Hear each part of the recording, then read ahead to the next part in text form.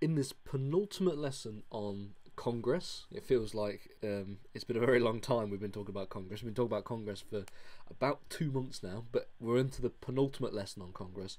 We're going to talk about congressional oversight and how Congress oversees and um, holds to account um, different areas of the executive branch. So, congressional oversight is a very significant power of Congress. Not just passing legislation, but overseeing the executive is, is one that is seen as a very um, principal um, expression of congressional power.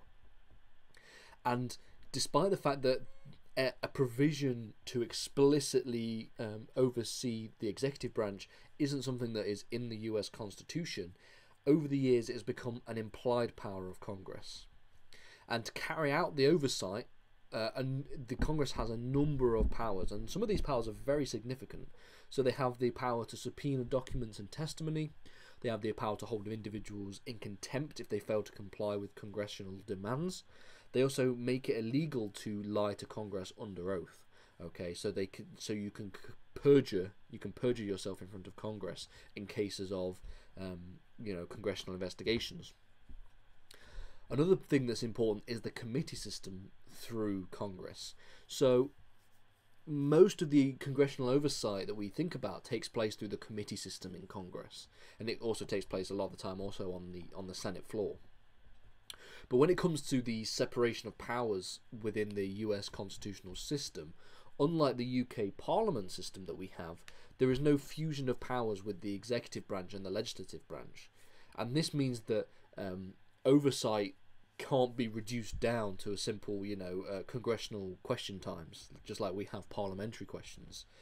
Whereas in the UK system, the Parliament questions the executive um, on a weekly basis, you know, different members of the executive branch, most famous being Prime Minister's questions on Wednesdays. This can't exactly happen through Congress because the systems and the branches of government are separated. We have a separation of powers, um, a more distinct separation of powers in the US. However, through the committee systems, um, this is where we see a lot of the congressional oversight takes place because you can be called to question uh, on a by a committee panel, um, even if you're a member of the executive branch.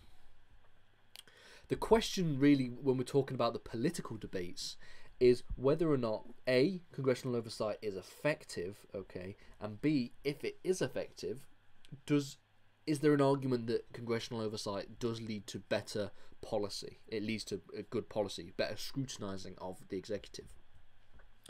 Well, generally speaking, most theorists argue that congressional oversight is really only effective when Congress is controlled by the party opposite to that of the president because we effectively have a two party system in the United States.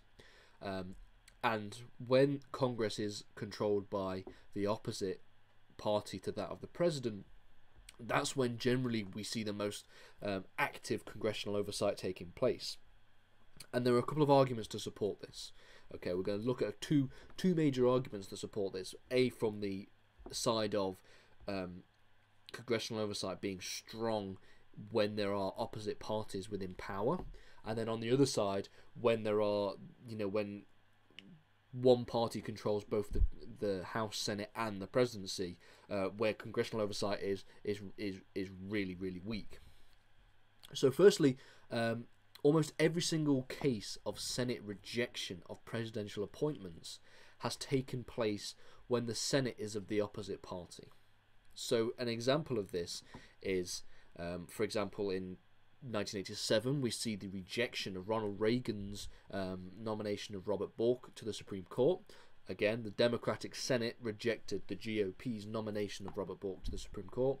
The same can be said in 2016 when Obama's nomination of Merrick Garland to the Supreme Court didn't even get a hearing in the GOP controlled Senate. So we can see a lot of um, you know tension between the two systems. And again, in the GOP Senate, also rejected Bill Clinton's nomination of uh, Ronnie White to be a federal trial court judge, and they also rejected his nuclear test ban treaty in 1999. So we have three examples here that show that when you have a different party controlling Congress, okay, they are um, much more effective at uh, holding the executive to account, okay, and this can be seen through the rejections of uh, potentially unwanted candidates, okay. And we're going to talk specifically about the 2016 case with Merrick Garland when we talk about whether or not too much congressional oversight can actually hamper the the political process because it leads to um, the branches of government not being able to perform their constitutional duties. We're going to talk about that and use that as an example uh, towards the end of the lesson. The second example that we can talk about when we talk about um, effectiveness of congressional oversight, we can talk about the Bush administration and the way in which congressional oversight was effectively non-existent in cases where the party and uh, controlled both the Senate, uh, the House, and um, and the presidency. So between 2001 and 2006, with the small exemption of a, a, a 18 month period in 2001 to 2002, um, where they had only one vote, uh, a single party vote, the GOP controlled Congress and the presidency.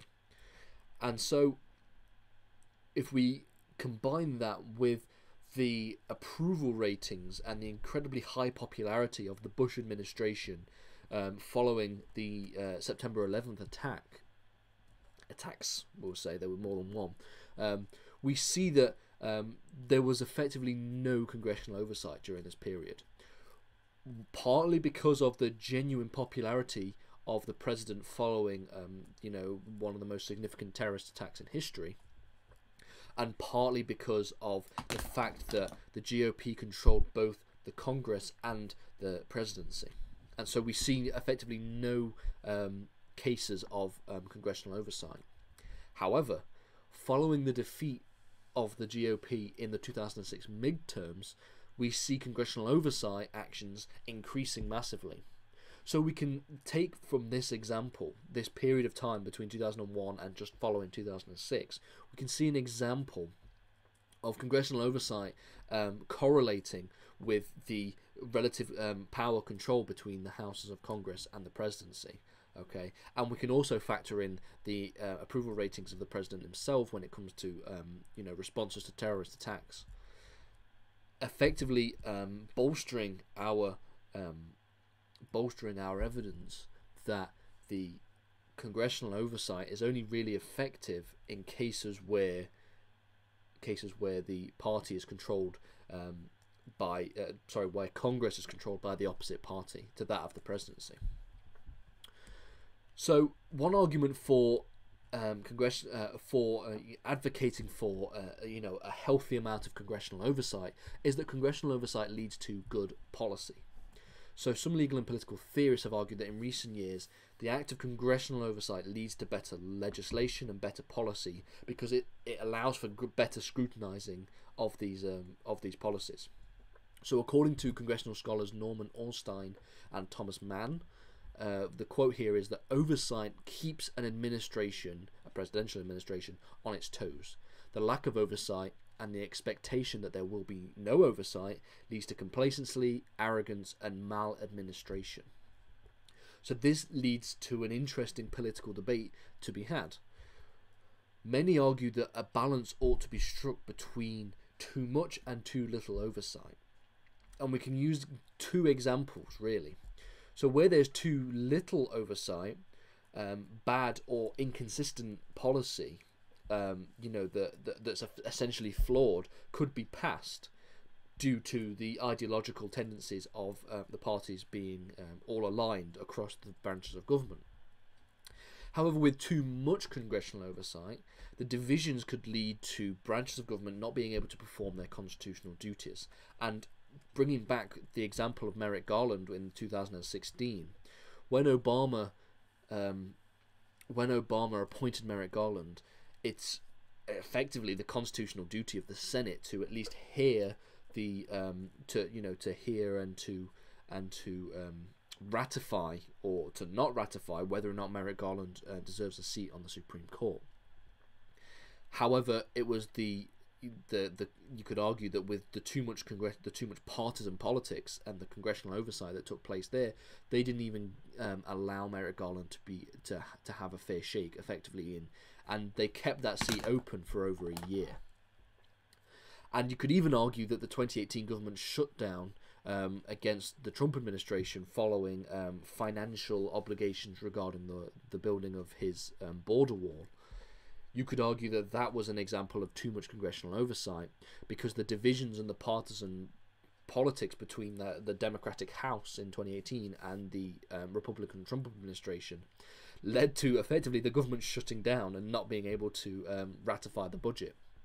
So you have this um, balance that ought to be struck where you have a, just a healthy amount of oversight that takes place within politics and not too much where it leads to a breaking down of the constitutional roles that each of these branches play but also not too little where um, inconsistent and um, you know overly um, flawed uh, policy could be passed in the next lesson and the final lesson we're going to talk about the relationship and the, the, the similarities and differences between uh, the UK parliamentary system and the US congressional system because that's important when we're going to be talking about uh, comparative politics comparing the two systems with each other. Before we move on to a, a finally a new chapter which will be um, looking at the executive branch